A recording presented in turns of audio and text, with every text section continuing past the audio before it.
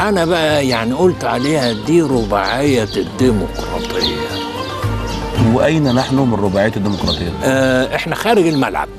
خارج تماما؟ تماما. هقول لك ليه. مش م... مش مبالغة ولا تشهير. آه هم أربع مكونات. طب العلمانية التفكير النسبي غير وارد دي مكفره العقد الاجتماعي. إحنا عندنا سلطة دينية متغرغلة ومتحكمة. آه التنوير ده ممنوع. آه ابتداء من آه آه، الشيخ علي عبد الرازق مرورا حسين،. زي ما انت عايز. انت بنجيب محفوظ؟ نجيب محفوظ وآخرين وآخرين. آخرين وآخرين. يجهض باستمرار. أول بأول بيعملوا تصفية لأي بوادر لسلطان العقل. ندخل بقى على الليبرالية. لا دي غير وارده الفرض غير وارد. كله قطيع في إطار القطيع يتحرك.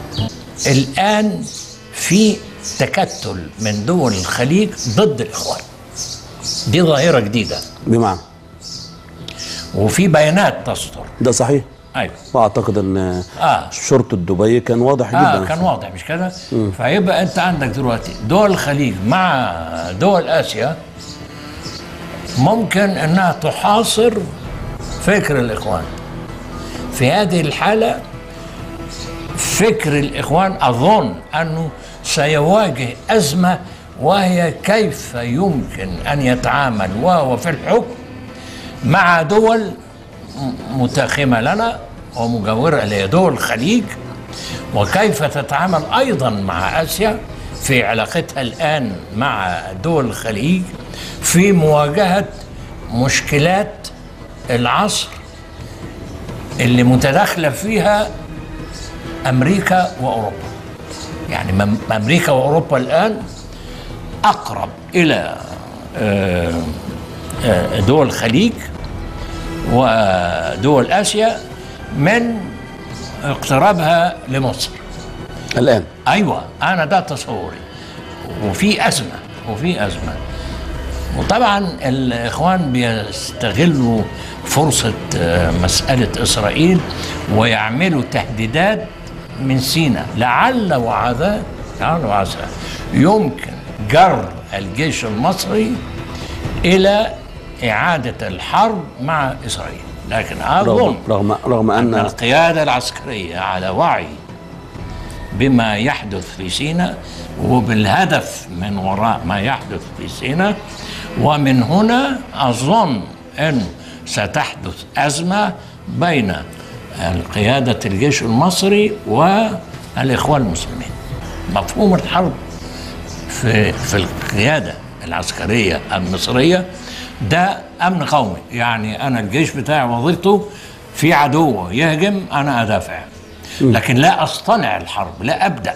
بالظبط مش وظيفتي مفهوم الحرب عند الإخوان هو يبدأ بالحرب. المبادئة. المبادئ بهدف أسلمة المنطقة وأسلمة العالم.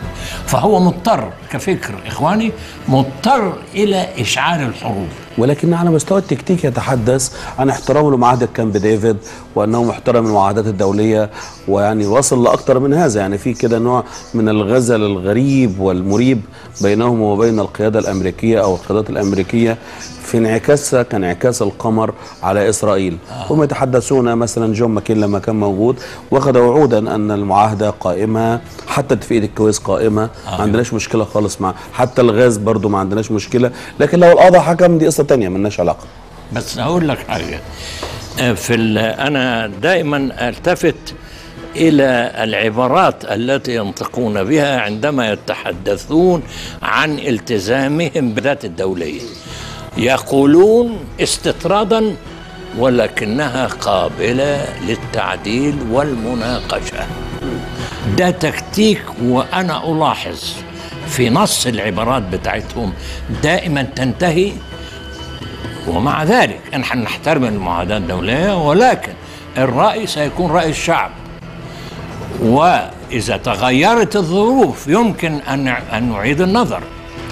هذه العبارات هي التي تسمح لهم مستقبلا في دفع الجيش المصري إلى افتعال حرب مع إسرائيل. إنه مسألة إن الجيش يرجع إلى السكنات ويستولي الإخوان على مؤسسات الدولة معناها الآتي معناها أنه يحدث أسلمة للدولة وللمجتمع. وعندما يحدث أسلمة للدولة والمجتمع يدخل الجيش باعتباره من مؤسسات الدولة يدخل في الأسلمة شاء أو لم يشاء. لا تستطيع في هذه الحالة أن تستثني.